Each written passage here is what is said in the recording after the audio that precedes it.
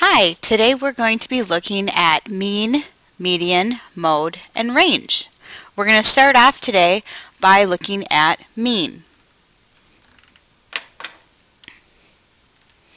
Mean. How do I find the mean? Step 1.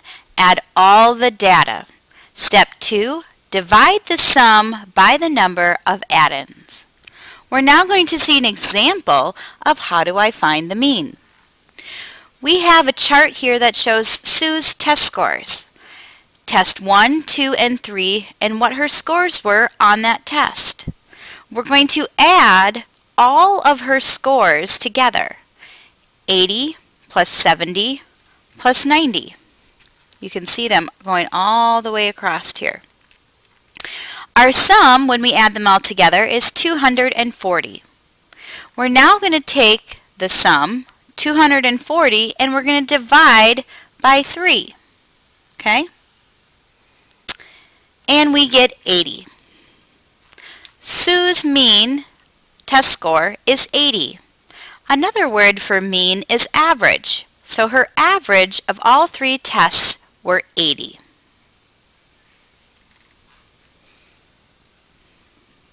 Now we're going to look at a few examples of how to find the mean of each set of data.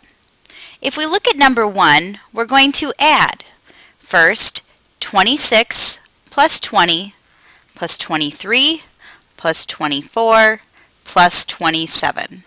So I'm going to add, and I want you to do this on your paper with me.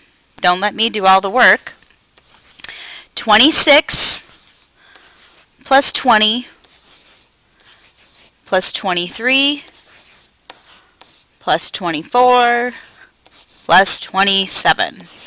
All right, we need to add all of these up first. Now, some of you might think back, what are some easy ways to add this many numbers together, especially when we have double digits?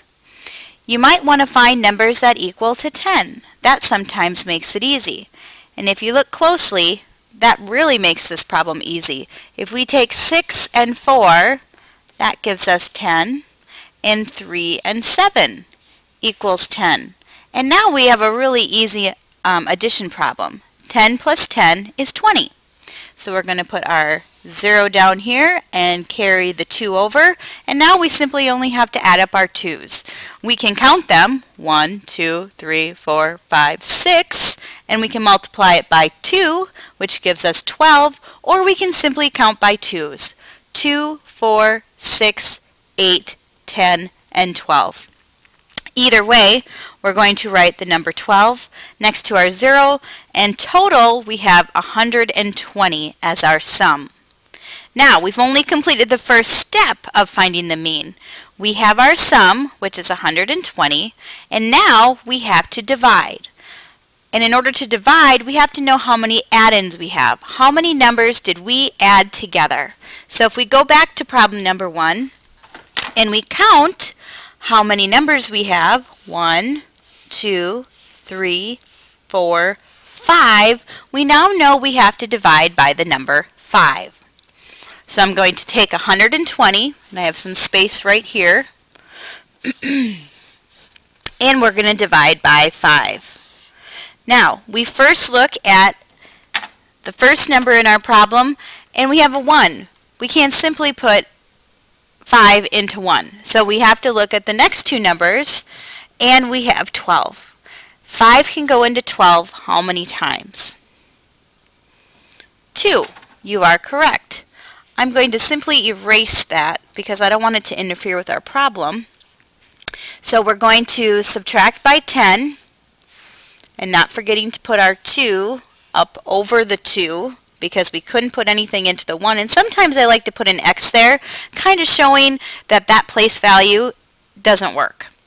So we have 2 times 5 equals 10, and we subtract, and we get 2 after subtracting, and we bring down our 0. So now we have 20, and we have to figure out how many times does 5 go into 20?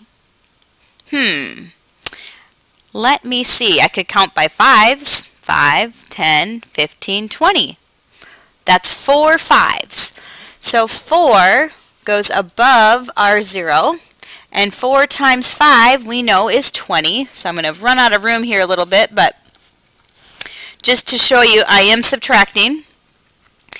And we get 0. So our problem is complete. We'd have no remainders, nothing left over, so it ends in a complete whole number, which makes things easier for us. So the average, or the mean, of number 1 is 24. And if we go back, our first step was to add, which we did here.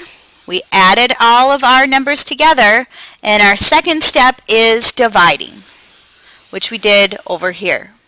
And we finally come to our answer. The mean is 24.